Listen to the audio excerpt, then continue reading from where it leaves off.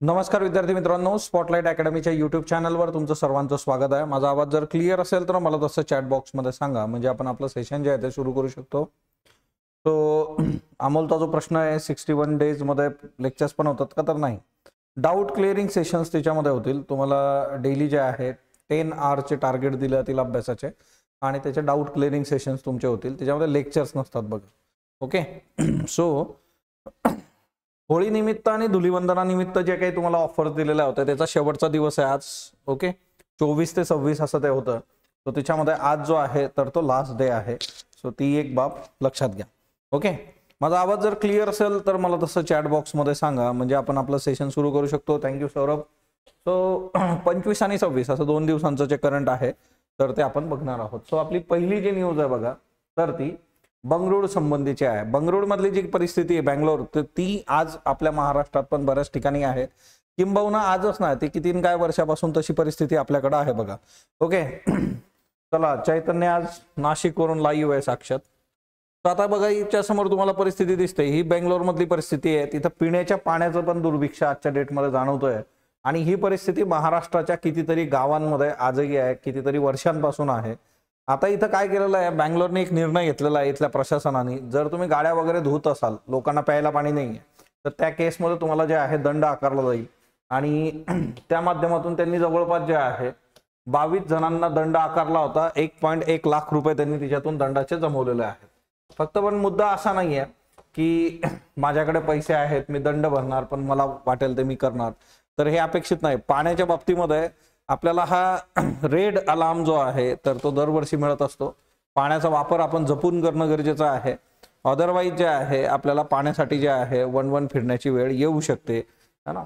Next one जे आहे बघा अरुणाचल वरून परत एकदा चीन जे आहे त्यांनी गडबड करायला सुरुवात केलेली आहे. चीनचा जो अरुणाचल प्रदेशवरचा जो दावा आहे तर तो मूर्खपणाचा आणि हास्यास्पद आहे असं भारताने म्हटलेलं आहे. तरी सुद्धा चीनने जे आहे अरुणाचलवरचा दावा जो आहे तर तो सांगितलेला आहे. आता चीनचं काय म्हणणं आहे याच्यामध्ये? चीनचं म्हणणं आहे की भारत आणि चीन यांच्या ज्या सीमा होत्या या कधीही निश्चित करण्यात आलेल्या नव्हत्या. आणि एकंदर जे आहे आपण आपला जो अरुणाचल प्रदेश आहे त्याला चीन जो आहे झॅगझान झॅगनान म्हणून जे आहे संबोधतो. आणि त्याचं असं म्हणणं आहे की भारताने बेकायदेशीररित्या जो आहे ताबा मिळवलेला आहे अरुणाचल प्रदेशवर. आणि एकोणावीसशे सत्याऐंशी नाईन्टीन एटी सेवनपासून जे आहे तर ते आपण तथाकथित जे आहे बघा अरुणाचल प्रदेश जो आहे तो स्थापित केला त्याच्यावर बेकायदेशीर जे आहे तर तो दावा सांगितला. ओव्हरऑल तसं बघायला गेलं तर आपण जागतिक स्तरावर हे प्रत्येकाला माहीत आहे की ही चीनची जी आहे तर ती सवय आहे की याच्या त्याच्या भूभागावर जे आहे तर तो दावा सांगणं भारताने असं कधी काही केलेलं नाहीये. आणि त्या केसमध्ये सिम्पली जे आहे बघा अरुणाचल आणि चीनच्या बाबतीमध्ये हे याच्या आधी घडलेलं आहे. अरुणाचल मधल्या ज्या काही स्पोर्ट्स प्लेअर आहेत त्यांना व्हिसा नाकारणं किंवा स्टेपल व्हिसाचे प्रकार करणं हे चायना आधीपासून करण्यात करत आलेलं आहे बघा. सो एकंदर हा एक मुद्दा लक्षात ठेवा भारत आणि चीनच्या बाबतीमध्ये. महाकाल मंदिर जे आहे बघा तिच्यामध्ये आग लागली होती सोमवारी आणि तिच्यात जवळपास चौदा लोक जखमी झाले. सुदैवाने जे आहे याच्यामध्ये कुठली जीवित हानी झालेली नाहीये. आणि याच्यासाठी जे आहे तिथल्या सीएमनी जे आहे नियर अबाउट जे आहे वन लाख रुपीज प्रत्येकाला जे आहे तर ती नुकसान भरपाई. सायमल्टेनियसली त्यांचं जे काही ट्रीटमेंट आहे ती पण मोफत केली जाईल असं म्हटलेलं आहे. ओके सो एकंदर महाकाल मंदिराच्या बाबतीमध्ये आता महाकाल मंदिर जे आहे उज्जैनचं ते फेमस आहे बघा. महाकाल मंदिराच्या बाबतीत तुम्ही जर बघितलं तर हे खूप भारतातलं एक फेमस मंदिर आहे. आता रिलिजन हा जो मुद्दा आहे ना त्याच्या बेसिसवर आणि इलेक्शन त्याच्यासाठी पण एक महत्वाची आपल्याकडे न्यूज आहे आज. सो मध्य प्रदेश आणि उज्जैन जे आहे चौदा पुढ पुजारी जे आहेत तर ते इथं जखमी झालेले आहे प्रत्येकाला एक लाख रुपयाची मदत आणि त्याची ट्रीटमेंट सरकार करणार आहे. गाझामधल्या शस्त्रवि शस्त्रविरामांसाठी जे आहे अमेरिकेने स्पष्ट भूमिका घेतलेली नाहीये. आता गाझामध्ये शस्त्रविराम झाला पाहिजे. म्हणजे मुस्लिमांसाठी पवित्र असणारा जो रमजान महिना आहे त्यामध्ये गाझामध्ये शस्त्रविराम व्हावा असा ठराव संयुक्त राष्ट्राच्या सुरक्षा परिषदेने मंजूर केलेला आहे. ठरावाच्या बाजूने चौदा तर विरोधामध्ये शून्य मतं पडलेली आहे. टोटल आता बघा आपली जी युनायटेड नेशन सिक्युरिटी काउन्सिल आहे युनायटेड नेशन सिक्युरिटी काउन्सिलमध्ये पाच परमनंट मेंबर आहेत दहा टेंपररी मेंबर आहेत. ओके आणि याच्यामध्ये टोटल झालेत पंधरा. तर हे पंधरा मतं जी होती तर ती येणं अपेक्षित होते. पण हिच्यामध्ये जे आहे तर एकतर या पंधरापैकी जे आहे एक युएस असा देश आहे की ज्यांनी मतदान जे आहे तर ते केलेलं नाहीये. नकाराधिकार वापरणारा अमेरिका जो आहे तो अनुपस्थित राहिलेला आहे आणि त्यांनी जे आहे अप्रत्यक्ष पाठिंबा दिलेला आहे डायरेक्टली नाही. आणि यामुळे इस्रायलचे पंतप्रधान जे आहे बेन्यामिन नॅतेनाऊ हे जरा नाराज झालेले आहेत. आणि त्यांनी अमेरिकेचा त्यांचा दौरा जो आहे तर तो रद्द केलेला आहे. आता याच्याने अमेरिकेला विशेष फरक पडतो का तर नाही. पण नेत्यानाऊ यांना जे आहे हा शस्त्रविराम नक्कीच नको होता. पण त्या केसमध्ये त्यांनी जे आहे तर ते डील दिलेलं आहे. ओके तर राणी यांचं काय आहे? रोहित सरांचे जिओलॉजिकल टाइम स्केलचा व्हिडिओ युट्यूबवर आपल्या चॅनलवर नाही दिसत. थोडं शोधा बघा. आपला कुठला व्हिडिओ आपण काढून टाकत नाही. ओके? पर्सनल लेवलला प्रत्येकाला लिंक नाही पाठवू शकत आपण. तो जरा प्रॉपरली जे आहे सर्च करा किंवा मी टीमला सांगेल की त्या व्हिडिओची लिंक आपल्या टेलिग्राम चॅनलवर जे आहे शेअर करूयात. ओके? त्याच्यानंतर नेक्स्ट वन जे आहे पुढचा जो मुद्दा येतो बघा की शिवशक्ती नावावर जे आहे आंतरराष्ट्रीय संघटनेने शिक्कामोर्तब केलेला आहे बघा.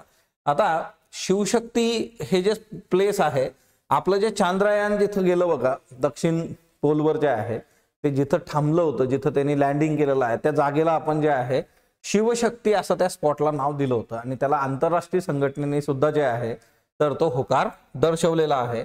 आणि इथून पुढे जे आहे ती जी जागा आहे बघा तेवीस ऑगस्ट दोन हजार तेवीस ला चंद्रयान दक्षिण ध्रुवावर यशस्वीपणे उतरलं होतं. आता अशा ज्या तारखा असतात ना ह्या तुम्ही नीट लक्षात ठेवल्या पाहिजे. म्हणजे जे खूपच महत्वाची तारीख आहे एखादी तर ती आपल्याला माहीत पाहिजे. आणि भारत जो आहे दक्षिण ध्रुवावर पोहोचणारा जगातला जो आहे पहिला देश आणि त्यातल्या त्यात जे आहे चंद्रयान तीन जिथं लँड झालं होतं तिला शिवशक्ती हे नाव जे आहे तर ते दिलं गेलं बघा. तो आणि आंतरराष्ट्रीय संघटनेने पण जे आहे नियर अबाउट सात महिने झालेले आहेत की त्यांनी होकार दर्शवलेला आहे बघा. सो ती एक बाब याच्यामध्ये महत्वाची आहे. ओके सो अमोल मेंटॉरशिपसाठी जे आहे ना मेंटॉरशिप प्रोग्राममध्ये एक डिटेल लेक्चर मी टाकेलाच ते तुम्ही जे आहे तर ते बघा. आणि याच्यामध्ये जे आहे ना टेस्ट तुम्हाला नसणार आहे. हे खूप याच्यामध्ये बघा याची जी फीज आहे तुम्हाला टेस्ट सिरीज प्रॉपर अवेलेबल आहे राज्यसेवेची ती तुम्ही करणं अपेक्षित आहे याच्यामध्ये ओके काल तसा एक रिप्लाय मी दिला होता तिथं की टेस्ट सिरीज अवेलेबल आहे ती सिन्सिअरली तुम्ही करा कारण ती टेस्ट सिरीज प्रॉपरली डिझाईन केलेली आहे. याच्यामध्ये तुम्हाला जे आहे टार्गेट देणं तुमचे डाऊट क्लिअर करणं तुमचा जीएसचा स्कोर कुठून वाढू शकतो कुठल्या गोष्टींवर तो फोकस पाहिजे कुठले सोर्सेस वाचले पाहिजे त्या गोष्टी करून घेतल्या जाईल. आणि त्याच पद्धतीने त्याची जी आहे तर ती फीज पण आहे. तुम्हाला तो पण विचार करणं अपेक्षित आहे. आता तिच्यावर आज रात्रीपर्यंत ट्वेंटी पर्सेंटचा ऑफ आहे. तुम्ही जर बघितलं असेल बघा तर कंबाईनची जी फीज होती आपली मेंटॉरशिपची कंबाईनमध्ये टेस्ट पण अवेलेबल होती तिच्यामध्ये. म्हणून ती नऊशे नव्याण्णव होती. तुम्हाला जे आहे फोर नाईन नाईन आहे त्याच्यावर पण ट्वेंटी पर्सेंट ऑफ तिच्यावर आहे. म्हणजे डेली तुम्ही चहा जो पिता एक कट त्याच्यापेक्षा कमी हिच्यामध्ये तुम्हाला ती मेंटॉरशिप आहे. पण तिच्यात गोष्टी ज्या आहेत त्या खूप सिन्सिअरली आणि प्रॉपरली जशा कंबाईनच्या याच्यामध्ये सध्या सुरू आहेत तशा त्या डील होतील. आणि त्याचे दोन उद्देश होते की एक परीक्षा पोस्टपोन झालेली आहे तर तुम्हाला त्या फ्लोमध्ये टिकवून ठेवणं आणि त्यातल्या त्यात तुमचे जी एचचे जे आहेत मार्क्स वाढवून देणं. आणि तुम्ही जो रिस्पॉन्स दिलेला आहे बघा मॅक्झिमम स्टुडंटनी त्याच्यात इनरोल आतापर्यंत केलं गेल्या दोन दिवसात कोर्स लॉन्च झाल्यापासून. तो टीम स्पॉटलाईट आभारी आहे तो ट्रस्ट जो आहे तर तो मॅटर करतो बघा. सो बेसिकली जे आहे नेक्स्ट वन गैरप्रकार केलेल्या वीस शाळांची सीबीएसई कडून संलग्नता रद्द करण्यात आलेली आहे बघा. आता सीबीएसई जे आहे central board of secondary education या सीबीएसईचा जर तुम्ही विचार केला तर सीबीएसई बोर्ड काय करतं? ज्या वेगवेगळ्या शाळा आहेत बघा. हा ना? तर ते वेगवेगळ्या शाळांची संलग्नता असते की त्या शाळा सीबीएसईचे नियम असतील किंवा सीबीएसईचे ज्या काही रूल्स रेग्युलेशन असेल त्याच्याशी जे आहे डील करतात का? सो ओव्हरऑल जे आहे इकडे जर तुम्ही बघितलं तर वीस शाळांची संलग्नता जी आहे तर ती याच्यातून रद्द करण्यात आलेली आहे. आणि याच्यामध्ये तुम्ही जर बघितलं तर तुम्हाला एकंदर जे आहे सीबीएसईच्या शाळांच्या बाबतीमध्ये एकंदर महाराष्ट्रातल्या दोन शाळा तिच्यामध्ये आहेत. एक पुण्यामधली पायोनियर पब्लिक स्कूल आणि एक ठाण्यामधली राहुल इंटरनॅशनल स्कूल या दोघांचा पण जे आहे सीबीएसईशी असणारा जो आहे संलग्नता जे आहे तर ते काढून टाकलेलं आहे. बाकी मग तुम्हाला दिल्लीतल्या पाच उत्तर ह्या काही एवढा हे नाही कुठल्या याच्यातल्या किती गेल्यात. आता हे का होतं असं? ही संलग्नता का काढून टाकली जाते बघा. तर यामध्ये जे आहे ना काही शाळांनी बनावट विद्यार्थ्यांचे प्रकार उघडकीस आले की बनावट म्हणजे ऑन द रोल जे आहे विद्यार्थी एक्स्ट्राचे दाखवायचे. अपात्र उमेदवारांना जे आहे प्रवेश मिळवून देणं जे आहे त्याच्यानंतर नोंदी दुरुस्ती करणं ना? अशा सगळ्या ज्या गोष्टी आहेत म्हणजे रुल्स रेग्युलेशननुसार जर तुम्ही चालत नसाल तर सीबीएसई तुमचा सीबीएसईचा दर्जा जो आहे किंवा ते संलग्नता ते बोर्ड काढून घेईल आणि तिथून तुम्हाला त्या फॅसिलिटीज देणार नाही. ओके अभिलाषचं जे आहे बघा तलाठी म्हणून सिलेक्शन झालेलं आहे. रायगड जिल्ह्यामध्ये ते कार्यरत आहे बघा. So thank you Abhilash for your feedback आणि सर्वांनी अभिनंदन करा बघा. अभिलाषचं जे आहे इथून पुढचा पण तुमचा प्रवास जो आहे तर तो ना असाच यशोदायी हो.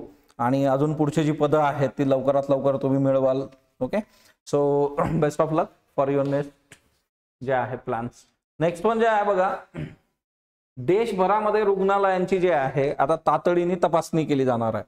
आता असं का केलं जाणार आहे बघा? तर या केसमध्ये सिंपली असं आहे की भारतामध्ये जे आहे आता टेम्परेचर इतकं वाढतंय आणि टेम्परेचर वाढल्यामुळे जे हॉस्पिटलमध्ये आग लागण्याचे जे प्रकार आहे ते मोठ्या प्रमाणावर आहे. आणि त्यामुळे जे आहे की देशभरातल्या रुग्णालयांची तातडीने आता तपास मोहीम असणार आहे. आपण याच्या आधी अशा काही केसेस बघितलेल्या आहेत की हॉस्पिटलला आग लागलेली आहे. आणि हॉस्पिटलला एकदा आग लागली तर त्या केसमध्ये काय होतं की ती आग जी आहे ती विझवणं फार जिकरीचं असतं ते पेटत जातं. त्याचं रिझन असं आहे हॉस्पिटलमध्ये प्लास्टिक मोठ्या प्रमाणावर असतं. म्हणजे तुम्ही असं कुणी नसेल की जो हॉस्पिटलमध्ये आजवर गेलं नसेल सलाईनच्या बॉटल्स तुम्ही बघितल्या असेल आय व्ही सेट असेल ते प्लास्टिक असतं बघा. त्याच्यानंतर जे आहे बेडवर बऱ्याचदा जे आहे प्लास्टिक अंथरलेलं असतं तिथं. है ना? ओलं होऊ नये म्हणून. म्हणजे तुम्हाला एवढं प्लास्टिक मिळेल तिथं. प्लस बऱ्याच ठिकाणी जे आहे गॅसच्या पाईपलाईन्स पण तिच्यामध्ये असतात. तो अशा सगळ्या गोष्टी आहेत आणि त्यामुळे जे आहे हे मॅटर करतं बघा. ओके? सो तेच रिझन आहे की आता भारतामध्ये जे आहे सगळे जे काही हॉस्पिटल्स आहेत तर आगीच्या दुर्घटनांचा धोका जो आहे तो निर्माण होऊ नये आणि फायर संबंधीच्या त्यांनी जे आहे उपाययोजना प्रॉपरली केलेल्या आहेत का याच्या संबंधीची ही तपासणी असणार आहे. देन आता बघा आयपीओ जे आहे आयपीओ आपण शिकतो इकॉनॉमीमध्ये जे आहे आपलं जे कॅपिटल मार्केट आहे त्याच्यामध्ये इनिशियल पब्लिक ऑफरिंग असं याला म्हटलं जातं. म्हणजे एखादी प्रायव्हेट कंपनी ज्या वेळेस तिचे शेअर्स लोकांसाठी पहिल्यांदाच ओपन करते म्हणजे ती प्रायव्हेटकडून जे आहे तिची वाटचाल जी आहे ती पब्लिककडे होते बघा. तर एस एम ई जे आहे तर त्यांनी जे आहे जवळपास विक्रमी पाच हजार पाचशे एकोणऐंशी कोटींची उभारणी याच्यामधून केलेली आहे बघा. सो तो एक बेसिक याच्यामधला मुद्दा आहे. आपल्याला कसं आहे ना की ही एक न्यूज आहे. आता तुम्हाला असं विचारणार नाही कोणी की कुठल्या कंपनीने किती रुपये उभारलेले आहेत. पण याच्याबरोबरच एक बेसिक प्रश्न तुम्हाला विचारला जाऊ शकतो. तो म्हणजे काय? की आयपीओ काय असतं? म्हणजे कधी पण लक्षात ठेवा ह्या इकॉनॉमीच्या ज्या काही न्यूज असतात बघा तिच्यामध्ये समजा गव्हर्नमेंटची एखादी कंपनी आहे तिने स्पेसिफिक महारत्न नवरत्न त्यांनी काहीतरी स्पेसिफिक कामगिरी केलेली आहे तर तिथं जे आहे तर ते मोठा आहे बघा. आता या केसमध्ये एक गोष्ट लक्षात घ्या आपल्याला कन्सेप्ट लक्षात घ्यायची आहे इनिशियल पब्लिक ऑफरिंग म्हणजे आयपीओ आयपीओ काय असतं बघा समजा ही एक प्रायव्हेट कंपनी आहे ओके सो ही एक प्रायव्हेट कंपनी आहे आणि ही पब्लिक कंपनी होते. कधी होते? ज्या वेळेस ते त्यांचे शेअर्स जे असतात ज्याला मराठीमध्ये आपण समभाग म्हणतो ते विकतात. आता इनिशियल पब्लिक ऑफरिंग्स म्हणजे काय? सुरुवातीला जेव्हा हे ऑफर केलं जातं त्याला जे आहे सगळ्यात पहिल्यांदा असं होतंय म्हणून त्याला इनिशियल पब्लिक ऑफरिंग म्हटलं जातं. नंतरच्या काळात मग ही खरेदी विक्री सुरू राहते. तो याला आयपीओ म्हणण्याचं कारण तेच आहे बघा. आणि स्टॉक एक्सचेंजवर लिस्ट करून जे आहे लोक मग तुमचे शेअर्स घेतात. म्हणजे एक पद्धतीने ती प्रायव्हेट कंपनी काय होते? पब्लिक लिमिटेड जे आहे तर ती होते पब्लिक कंपनी आता असं का केलं जातं? एखादी कंपनी आहे तर ती शेअर्स असे का विकते? त्या केसमध्ये एक सगळ्यात महत्वाचं कारण असतं त्यांना जे आहे पैसे उभारायचे असतात. जर त्यांनी शेअर्स विकले तर लोक शेअर्स विकत घेतील त्यांना पैसे मिळतील. सो हे एक कारण असतं बघा. त्याच्यानंतर जे आहे इन्सायडर्स जे असतात बघा त्यांना जे आहे फंड्स हिच्यातून मिळतात. त्याच्यानंतर जे आहे की क्रेडिबिलिटी जे आहे क्रेडिट ओके सो ते पण आहे की जर जास्तीत जास्त लोकांनी तुमच्यावर विश्वास ठेवणं. इन्क्रीज अवेअरनेस जे आहे सो दुसरा एक मुद्दा येतो की तो म्हणजे इन्क्रीज अवेअरनेस त्या कंपनीबद्दलची जी आहे.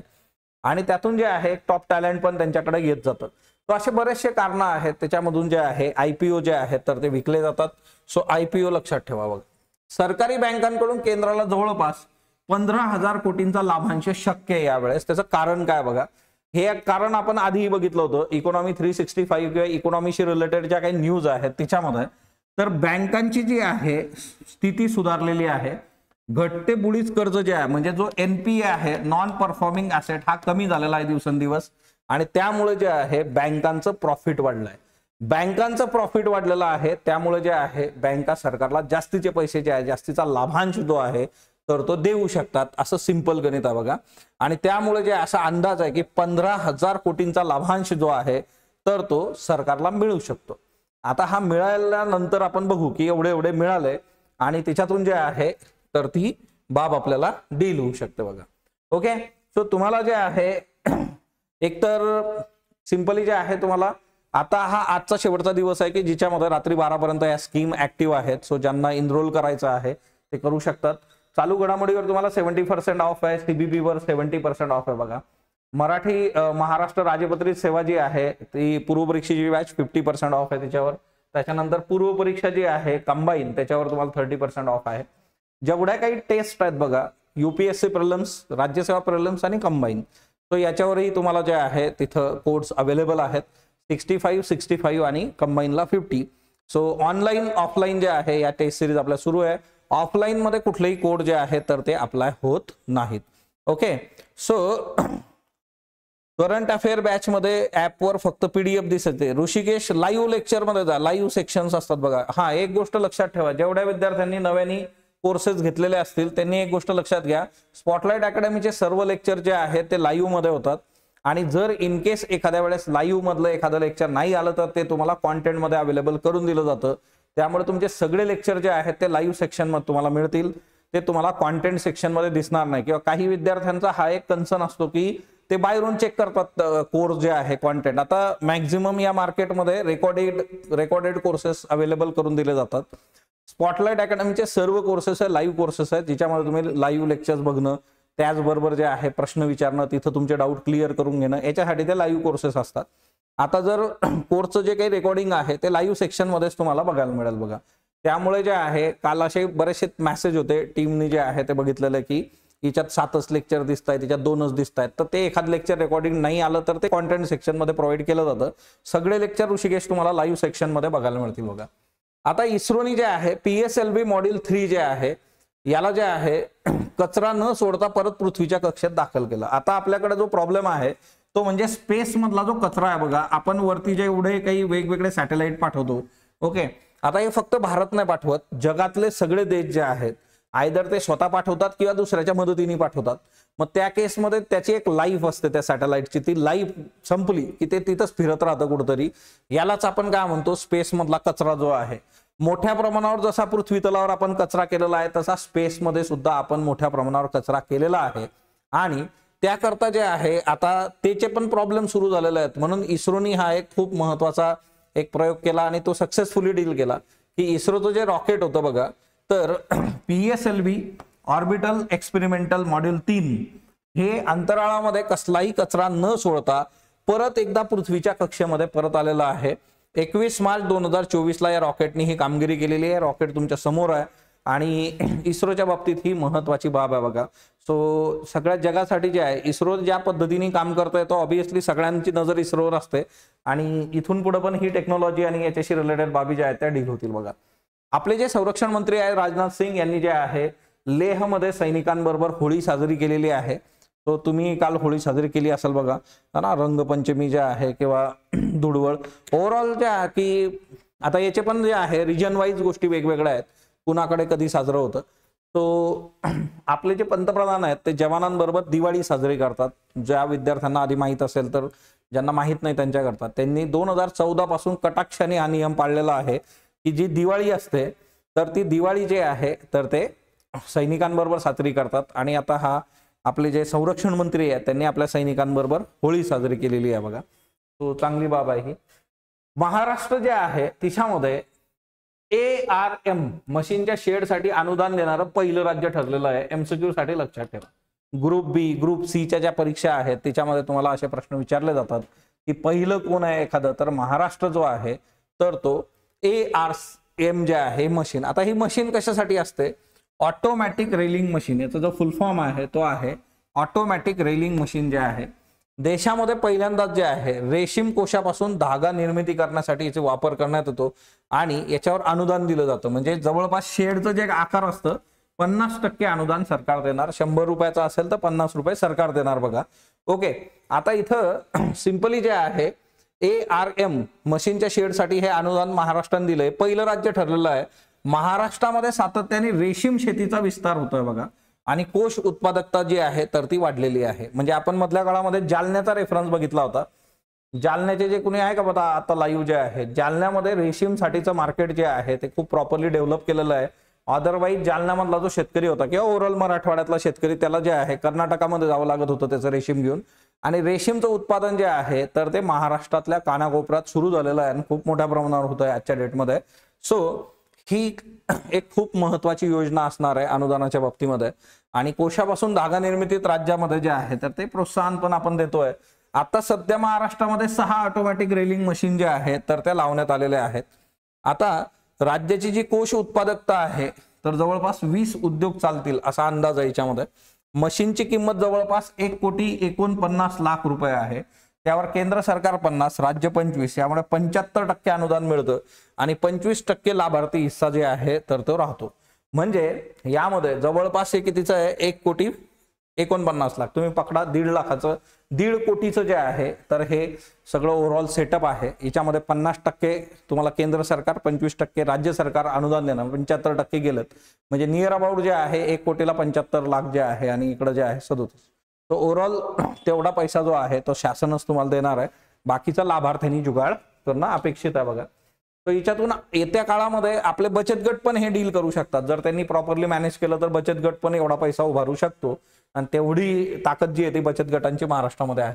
आता बघा युरोपियन युनियननी मधल्या काळामध्ये कायदा आणला होता ज्याच्यावर मी तुम्हाला एमसीक्यू पण विचारलेला आहे. आता त्या कायद्याचा वापर करून जे आहे कुठला कायदा होता बरं? की ह्या मोठ्या मोठ्या कंपन्या आहेत ऍपल फेसबुक गुगल है ना? Digital market act okay digital market act European union घेऊन आलं होतं. आता याच्यामध्ये काय आहे ना की यांनी नियम बनवलेले आहेत या कंपन्यांसाठी. एकतर या कंपन्या काय करतात? विशिष्ट गोष्टींना सर्च करण्यासाठी मुभा देणं विशिष्ट म्हणजे कॅन्डिडेट्सला जे आहे की वेगवेगळ्या फर्म्सला प्रमोट करणं असे प्रकार हे करतात. आणि तिच्यामधून नफा कमवणं. तर या सगळ्या गोष्टींना आळा घालण्यासाठी जे आहे युरोपियन युनियनने डिजिटल मार्केट्स ऍक्ट आणला होता. आता युरोपियन युनियन सगळं चेक करतंय आणि बघतंय बघा की गोष्टी ज्या आहेत त्या प्रॉपरली डील होत आहेत का? आणि या कंपन्यांनी कुठं जे आहे या करारांचं किंवा नियमांचं उल्लंघन केलेलं आहे का? आणि याच्यामध्ये जवळपास शंभर दहा टक्के जे आहेत त्यांचा जो ग्लोबल रिव्हेन्यू आहे म्हणजे जागतिक रिव्हेन्यू जेवढा काही असेल ना त्याचे दहा टक्के दंड त्यांना जे आहे याच्यामध्ये होऊ शकतो. सो कंपनीला फाईन जे आहे टेन पर्सेंट ग्लोबल रिव्हेन्यू आणि जर त्यांनी परत असं केलं परत नियम मोडला तर ट्वेंटी पर्सेंट रिफीट इन्फ्रिजमेंट असणार आहे. सो हा एक याच्यामध्ये महत्त्वाचा मुद्दा आहे. सो हे बघतात बघा डिजिटल मार्केट ऍक्सवर यांनी कुठं कुठं गोंधळ घातलेला आहे. सो या कंपन्यांचा त्रास सगळ्यांनाच आहे आजच्या डेटमध्ये जे आहे. येस देवेंद्रनी इथं गाफा टॅक्स टाकला. मला सांगा बरं गाफा टॅक्स कुठल्या देशाने लावला होता? तो कमेंट बॉक्समध्ये सांगा. गाफा टॅक्स टाकलेला आहे बघा. G A F A okay Google Amazon जे आहे. ना? सो नेक्स्ट वन जे आहे याच्यामध्ये आता. एकतर बघा धर्माच्या नावावर जे आहे तुम्ही जर कॅम्पेनिंग करत असाल धर्माच्या नावावर तुम्ही मत मागत असाल किंवा धर्माच्या नावावर जे आहे तुम्ही समाजामध्ये तेढ निर्माण करत असाल तर त्या केसमध्ये हे ऍक्सेप्टेबल नसतं.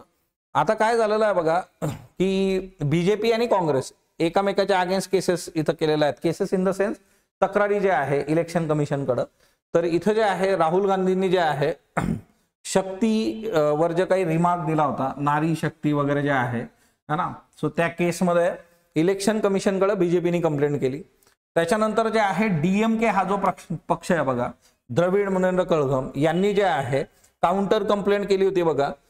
बीजेपीच्या अगेन्स्ट की त्यांनी धार्मिक सेंटिमेंट जे आहे कॅम्पेनच्या दरम्यान जे आहे ते वापरलेले आहेत त्या केसमध्ये. आता आपल्याला कायदेशीर याच्यासाठी काय प्रोव्हिजन्स आहेत ते बघायचं आहे. Section one two three three okay एकशे तेवीस मधलं तीन जे आहे पीपल्स रिप्रेझेंटेशन ऍक्ट जो रिप्रेझेंटेशन ऑफ पीपल्स ऍक्ट लोकप्रतिनिधी कायदा एकोणावीसशे एक्कावन्न. ओके सिलेबसमध्ये आपल्या.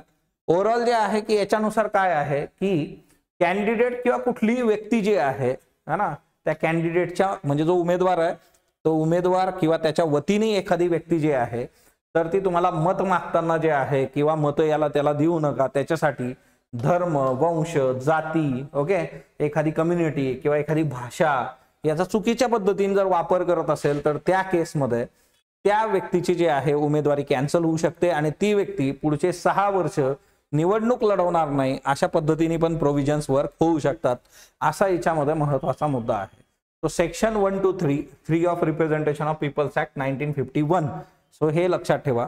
सो धर्माच्या नावावर वंशाच्या नावावर जातीच्या नावावर कम्युनिटीच्या नावावर जर तुम्ही राजकारण करत असाल आणि त्याच्यातून मतं मागत असाल किंवा एखाद्याला मत देऊ नका हे सांगत असाल तर त्या केसमध्ये सहा वर्षांसाठी डिबार तुम्ही होऊ शकता.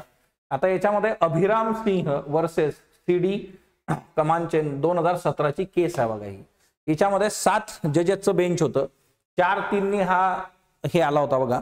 Majority of four is to three आता एक गोष्ट लक्षात ठेवा बऱ्याचदा आपण केसेस वगैरे बघतो तर त्याच्यात काही स्टुडंटच्या कमेंट असतात कोण जिंकलं? है ना? आता याच्यात मुद्दा असा असतो ज्याला मेजॉरिटी ज्या साईडने असेल त्यांचा निर्णय याच्यामध्ये बाध्य असणार आहे. सो यांनी सांगितलं होतं की मतदान जे आहे तर ते रिलिजनच्या बेसिसवर डील होता कामा नये. ही केस महत्वाची आहे एमसीक्यू साठी लक्षात ठेवा बघा.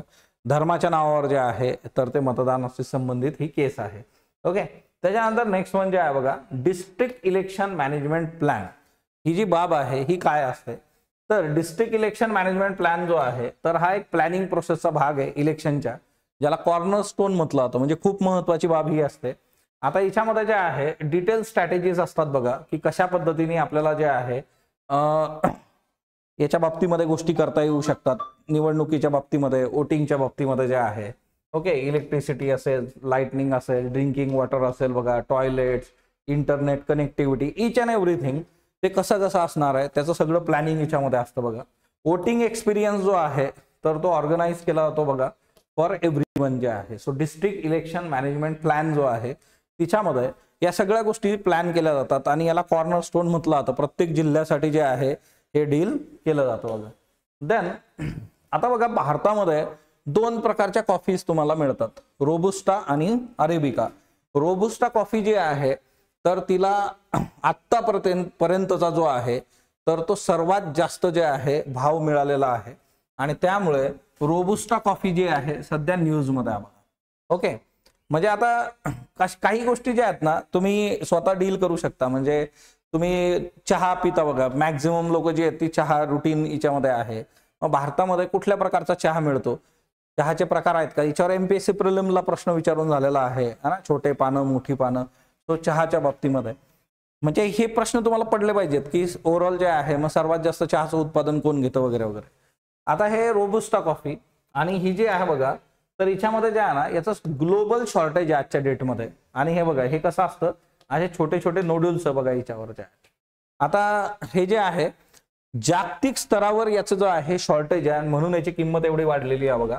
ग्लोबल फॅक्टर जर तुम्ही बघितलं बघा हा ना? आणि अरेबिका जी आहे बघा तिला पण सरप्लास केलेलं आहे नाही प्रीमियम अरेबिका जे आहे हिला पण सरपास करून टाकलं कारण तिचं जे आहे शॉर्टेज मोठ्या प्रमाणावर होतं म्हणून. सो हा एक रेफरन्स याच्यामध्ये लक्षात ठेवा. दोन कॉफीचे प्रकार जे आहे अरेबिका रोबिस्टा कोरल ब्लिचिंग जे आहे एन्व्हायरमेंट मधली खूप खूप महत्वाची कन्सेप्ट आहे.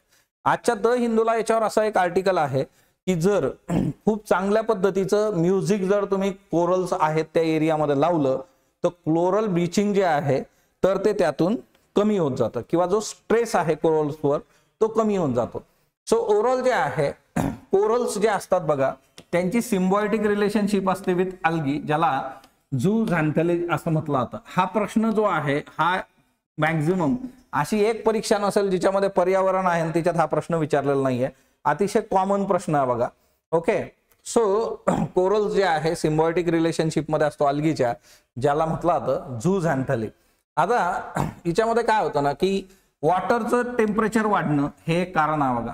आणि तिच्यामधून काय होतं कोरल जे आहे झू झॅन्थलीला बाजूला टाकतं बघा. आणि तिच्यातून जे आहे व्हिज्युअल सिमटम जे असतात कोरलचा जो रंग असतो त्याचा डाय जो आहे तो चेंज होतो. आणि कोरल ब्लिचिंग जे आहे यालाच ब्लिचिंग असं म्हटलं जातं. आता दिवसा काय ना टेम्परेचर वाढत चाललेलं आहे ग्लोबल वॉर्मिंग मोठ्या प्रमाणावर होत आहे आणि त्याचा इम्पॅक्ट डायरेक्टली जे आहे कोरल रीफवर होत आहे सो आता इथं कोरल रीफ जे आहे तर त्या वॉर्मिंगमुळे जे आहे त्यांचा मृत्यू होत चाललेला आहे. युएसने जे आहे बघा त्याच्या ज्या आहेत जवळपास पन्नास टक्के रीफ ज्या आहेत तर त्या दोन हजार पाच मध्येच कॅरेबियन एरियातल्या ज्या आहेत तर त्या म्हणजे तिथल्या लॉस झाल्या होत्या. त्याचं रिझन होतं बघा ब्लिचिंग एजंट जे आहे. आणि आता जर तुम्ही बघितलं की दोन हजार पाच मधले जे इव्हेंट होते बघा थर्मल स्ट्रेस मोठ्या प्रमाणावर तिच्यामध्ये होता. म्हणजे टेम्परेचर वाढलं की गडबड करतं बघा. सो ग्लोबल वॉर्मिंगचे इम्पॅक्ट किती आहेत ते तुम्हाला इथं बघता येतं. सो डिग्रेडेड कोरल रीप जे आहे त्याच्या बाबतीमध्ये असं एक स्टडी समोर आलेला आहे की जर तिथं एक चांगलं म्युझिक लावलं तर तिच्यातून त्यांचा स्ट्रेस कमी होतो अशा पद्धतीचं. ओके आता आपल्याला परीक्षेत हे विचारणार नाही म्युझिक लावल्यावर काय होतं पण बेसिकली कोरल्स आणि कोरल रीप बीचिंग जे आहे ते तुम्हाला माहीत पाहिजे. तो तो एक रेफरन्स लक्षात ठेवा. त्याच्यानंतर एलिफंट ट्रान्सफर जे आहे हत्ती जो आहे एका व्यक्तीकडून दुसऱ्या व्यक्तीकडे किंवा एखाद्या एका ठिकाणून दुसऱ्या ठिकाणी ट्रान्सफर करतं. त्याच्या संबंधीचे नियम बदललेले आहेत बघा. हत्तींच्या बाबतीमध्ये जे आहे तुम्ही बघितलं असेल की बऱ्याचदा प्रायव्हेट लेवलला पण हत्ती असतात किंवा एखादा माहूत जो आहे रस्त्यावरून हत्ती घेऊन जातो. ना तुम्ही त्याला काही खाऊ घातला असेल. मूळ मुद्दा असा असतो की तो माहूत जो आहे आयदर तो त्याचा ओनर असणार आहे किंवा त्याचा ओनर दुसरा आहे त्यांनी माहुताला तिथं कामाला ठेवलाय. सो हा जो हत्ती असतो बघा याची ओनरशिप ट्रान्सफर होणं जे आहे ते आता शक्य झालेलं आहे नवीन नियमांनुसार. म्हणजे इमॅजिन करा की तुमच्याकडं जे आहे सचिनकडं एक हत्ती आहे बघा तो त्यांनी जे आहे देवेंद्रला देऊन टाकला. चालणार आहे का असं? तर चालू शकतं असं. सो बेसिकली जे आहे एलिफंट जे आहेत बघा त्याच्या संबंधीचे नियम बदललेले आहेत आणि नवीन नियमांनुसार जे कॅप्टिव्ह एलिफंट्स आहेत जे कुणाच्या तरी खाजगी याच्यामध्ये आहेत तर त्यांचे ओनर बदलू शकतात ते ट्रान्सफर होऊ शकतात. आता एलिफंटच्या बाबतीमध्ये जे आहे अनंत अंबानी यांचा जो प्रोजेक्ट आहे तोही आपण बघितला होता बघा मोठ्या प्रमाणावर. त्याचं नाव आठवतं का तुम्हाला? कमलापूरचा एक गडचिरोलीचा कॅम्प जो आहे तो एक महत्त्वाचा आहे. तर तोही एक रेफरन्स होता बघा. ओके त्याच्यानंतर नेक्स्ट वन प्रश्न जो आहे कालचा प्रश्न होता बघा परवाचा आपला. भूटानचा order of the Druk Gyalpo जो आहे त्याच्याबद्दल योग्य विधान. तो पंतप्रधान नरेंद्र मोदी यांना सन्मानित केलं याच्याद्वारे. आणि ते पहिले परदेशी नागरिक ठरलेले हा पुरस्कार मिळणार आहे. आणि भूटानचा हा पुरस्कार चार जणांना देण्यात आलेला आहे. सो चारही तीनही स्टेटमेंट हे बरोबर होते. त्याच्यानंतर जे आहे बघा इंटरनॅशनल डे ऑफ फॉरेस्ट जो आहे ट्वेंटी फर्स्ट मार्चला सेलिब्रेट होतो. आणि forest and innovation new solution for better world हे त्याचे दोन्ही स्टेटमेंट जे आहे हेही बरोबर होते. आजचा प्रश्न घ्या. व्यवसायातील उधारी किती दिवसाहून अधिक राहिली तर रक्कम? उत्पन्नाचा भाग गृहीत धरून प्राप्तिकर आकारण्याचा नवीन नियम आणण्यात आला आहे. पन्नास दिवस शंभर दिवस पंचेचाळीस दिवस पंच्याहत्तर दिवस. सांगा बरं उत्तर.